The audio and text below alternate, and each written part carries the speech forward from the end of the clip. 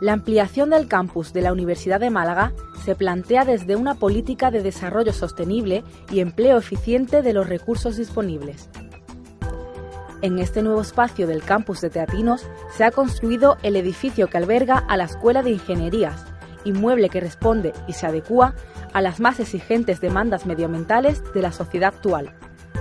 Diseñado por el arquitecto malacitano Salvador Moreno Peralta, ha sido reconocido por la Agencia Andaluza de la Energía, organismo dependiente de la Consejería de Economía, Innovación y Ciencia de la Junta de Andalucía, con la calificación energética A, convirtiéndose así en el primer edificio universitario dotado con esta distinción.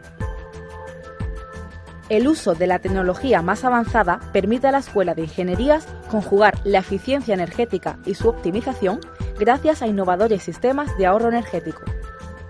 Uno de ellos es el revestimiento exterior, con fachada de doble protección térmica, que facilita el aislamiento del edificio de las condiciones climatológicas adversas. También dispone de dos tipos de placas solares, fotovoltaicas, transformadoras de la energía solar en energía eléctrica, capaces de alimentar a la red interna, permitiendo exportar el remanente a la red eléctrica general, y placas solares térmicas, que dotan al edificio de agua caliente sin consumo de otros recursos energéticos.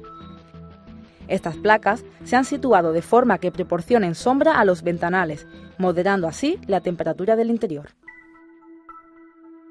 El control central se encarga de automatizar la climatización, iluminación, seguridad y el sistema de detección de incendios.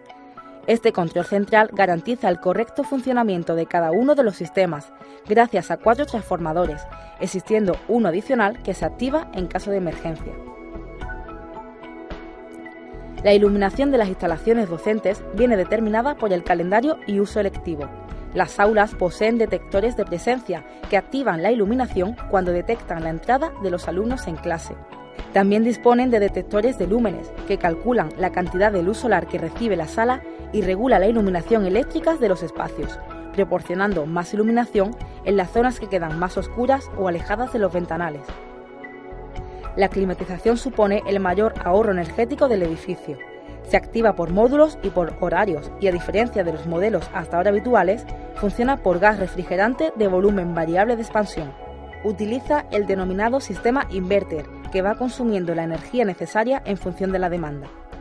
Igualmente, se permite la entrada de una cantidad de aire del exterior, que se filtra a través de los conductos de ventilación y se mezcla con la climatización del propio edificio.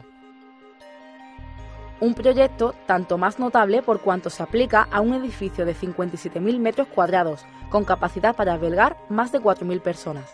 Entre sus instalaciones se encuentran, además de las aulas, laboratorios docentes y de investigación, el salón de actos, la biblioteca y una cafetería, diseñada como espacio social de encuentro y reunión.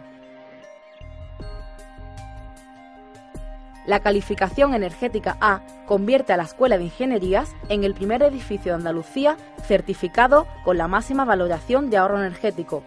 En este sentido, la UMA se perfila como una institución pionera en España en la construcción de un edificio de estas características índice de que la Universidad de Málaga apuesta por el respeto al medio ambiente, el consumo responsable y las energías renovables. Una meta que ya es una realidad.